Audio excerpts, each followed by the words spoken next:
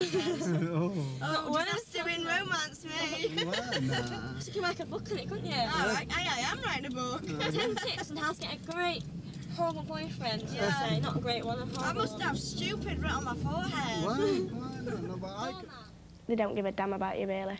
They just, you know, they go out with the mates and they say you, they love you and all this, but as soon as they're out on town with their mates, that's it. You know, they're cheating on you, and that's basically what I can't deal with. You know, that's why I look after myself. I don't, I don't need a guy to, you know, depend on.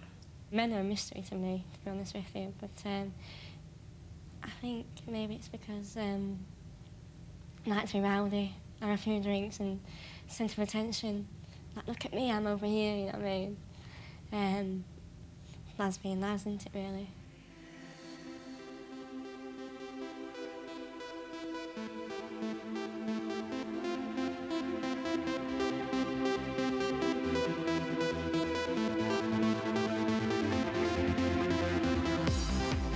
Wayne and Stav have been mates since childhood, and if you did try and come between them, you could end up getting squashed.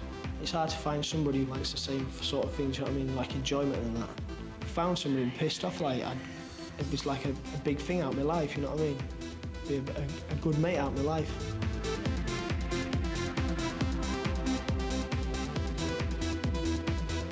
It's like having a girlfriend. no, not, you know what I mean, like sort of having a girlfriend and like you end up with split up and things like that. That's like what a mate is as well. A good mate, anyway, that's what I feel. Ah, Wayne and Stav both have checkered love lives. Stav's divorced, and things are rapidly reaching crunch point for Wayne and his long-suffering girlfriend, Tracy. Yeah, but your hardest thing is you're working away all week, innit? You've got to work down there for brass or wherever it be. That's what you want to be doing, you know, coming back and like spending some time with Trace, especially you've got now you've got house. Oh, You've yeah, got- what? Yeah, but you've got no excuse, have you, to go like. Yeah, but I'm 31 now. I just got back with my girlfriend. And like uh, we were split up for about six months. And like I've just bought an house and everything now, so I've got something to show for me working away and everything now. He might have a house, but he doesn't seem to spend that much time there. You know what I mean? Like sometimes she'll just put her foot down and say, look Wayne, I want time with you, you know what I mean? Like she, and you can understand that, can't you? I know sometimes I, I, I, do, I do go over the top and I push it. What do you mean sometimes? Then you've got to, you've got to think about the night, the good nights out we've had. You know what I mean? Which, well, where do you start? I would just like, It's men's talk over the green baize, stay there, oh, you. Come on, then. and it's girls' talk over the steak au poivre. Unsuspectingly. But you've got to be careful about Oh yeah. sort of calibre of men. Who you're actually associated Uh, with. that's right. I'm not looking for a partner. Don't get me wrong. I'm not looking for a partner. But there's no way I'd ever be with An an old older person. An no old way. man. I just, I just When find it older, repulsive. older than you? What bothers me is when they get older and they get the prostatic problems. I'm not being cruel. no, I'm not. They do. They get prostatic, and the first thing everything, like with a woman, Stop drops. Yeah, they get that older smell. They do. They do. I'm not being crude, but they do. I like a man to be a man. I like him to have some intelligence, to be able to hold a conversation and sort of be worldly, to know what's going off in the news and in the world and things like that. Politeness, s- good sense of humour, not offended too easily, definitely not offended too easily. Harry? No, don't like hairy men at all, no, no.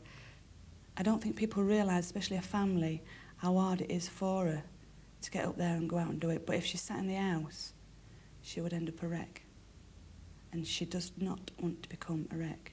She wants to carry on living life to the full, as she would have done if her husband had still been here, which I would have liked to have met him, but I never did. Chris has lost a husband, but Leslie's gained a friend and a new confidence. She's been married twice, divorced twice, and her social life had taken a knock. I never had any friends when I was younger. I was always me and my other half. I feel I missed out. If I met somebody, I would say to them, look, this is my best mate, and I want to have at least one night out a week with her. Yeah, but I think it's Yeah. the era that we live in now as well. Yeah. Both men and women are more forward. Yeah, it's very You're not, blasé. treating me, you're not treating me like that because I'm going to treat you the same as you treat me. Yeah. There's no embarrassment. No, no, not frightened at all. nowadays, definitely not. Women have the attitude of, I'm about to work as well. This is, you're not taking, you're not going to rule me. I'm going to rule you. I think everybody's had to change big style. I mean, there's a lot of people where women are working now and men at home. Uh, it's hard to, I suppose it's hard to accept. So I don't think there is a classification for men anymore. Uh, I suppose I'm, uh, I'm these new men. Look at the arse on that. That's, that's an impression of us. Carl, whoa, whoa, whoa, whoa. Look at the tash. Look at the arse. Oh.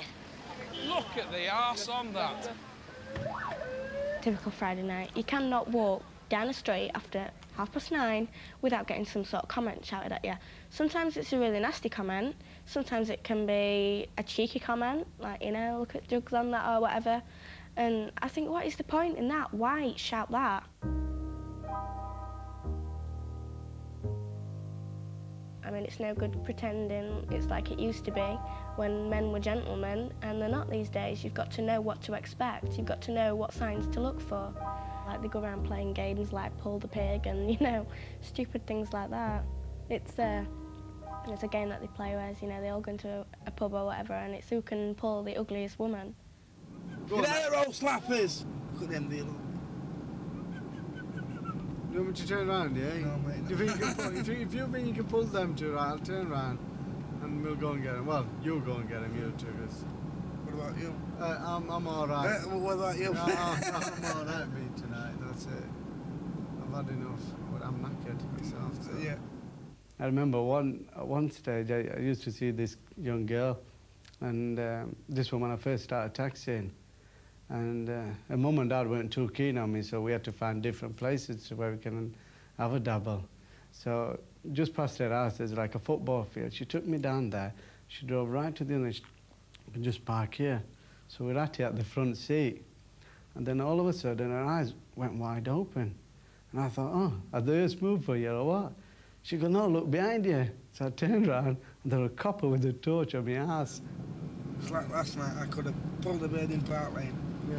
She said, you got looks, you got money. And she said to me, will you out with me? I said, nah. And put me in spitting where image of my ex-girlfriend. Uh, You know what I mean? And I said, nah.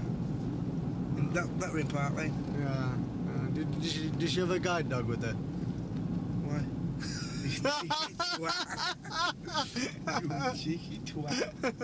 Stav and Wayne are planning a bit of a night of it, so they're refueling with a bloody hot curry. Stav feels the time is right to tackle Wayne about the marriage you question. have your discussions, don't you? Like, Yeah, you have. Trace will tell me more than what she tells you, because sometimes you don't want to hear or you're not playing ball or whatever. Yeah, but that, that, that is me, that Stav, anyway. I don't, I don't think she... I don't think she wants to, to marry me. Well, I hope she don't, anyway, 'cause- Yeah, but you've never spoke about it, have you, when it comes down to it? Yeah, actually, we have. Have you? Yeah, I've, and I've asked her a few When? times. Yeah, but if you if you've asked her when you've been absolutely bollocks, what's she going to think? Is she? she's not going to say, "Oh yeah, Wayne."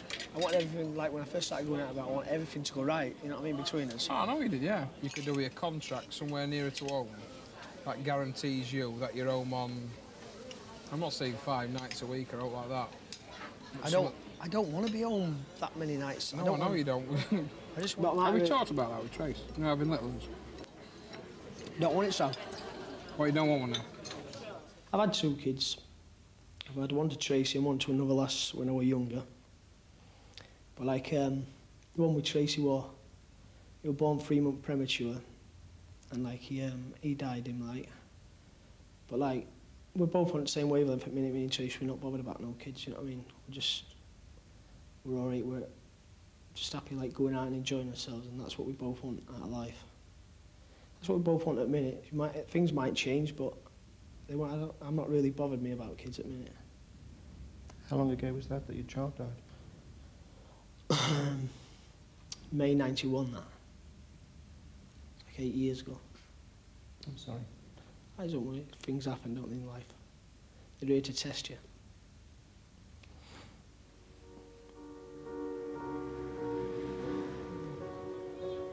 A thousand people a year get divorced in Doncaster alone. Tez is one of them. He's fathered five kids, but he's got no family. I, I, I miss Jordan a lot. He just, he the youngest of me of my kids. I've not seen him for nearly two years now, maybe a bit longer. I got one of the letters back. It did say, uh, I've, I've read your letter to Jordan, and in this moment in time he doesn't want to see you. I hope one day you just turn around and say to her, I want to see me dad.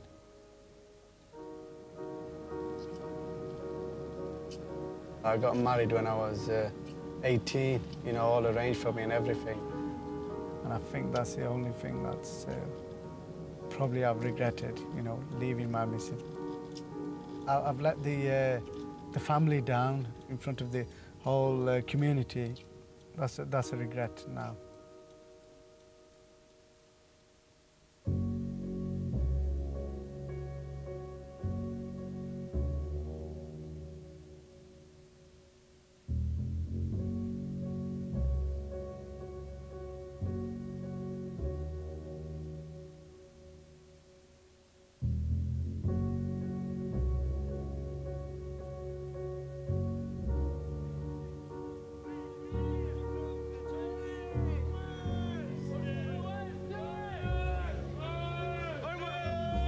He's had too much over there, doesn't it?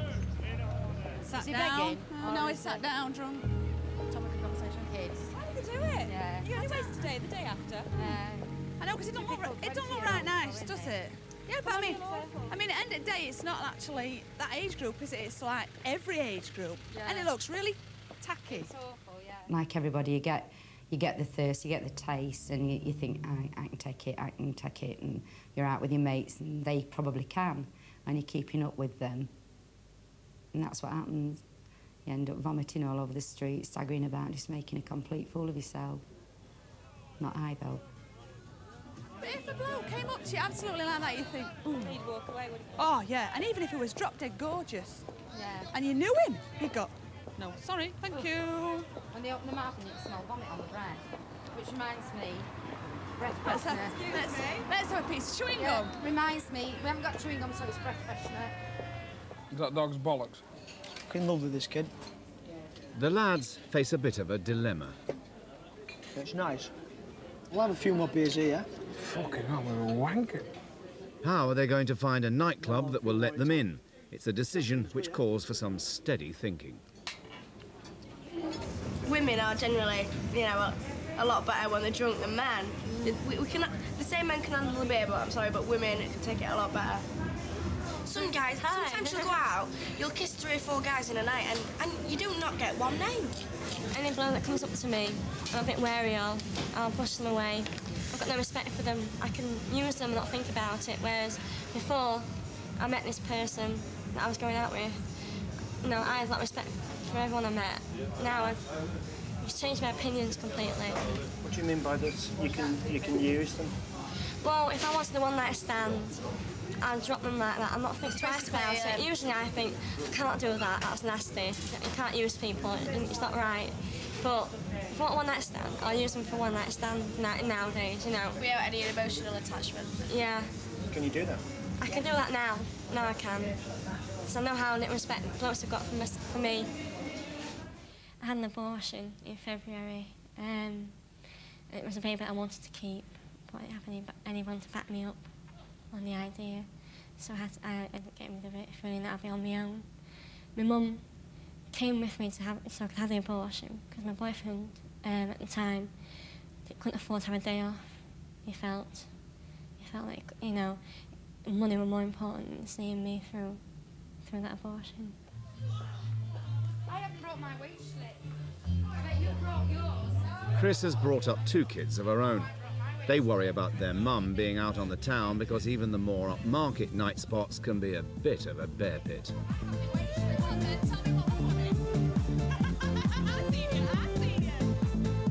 I can be taken in very easily. I believe people.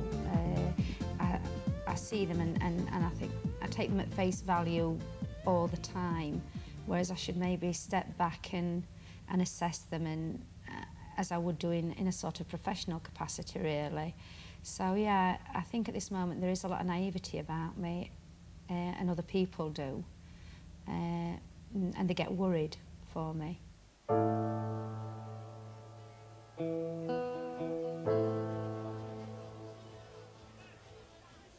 And that's why Leslie is so good for me as well.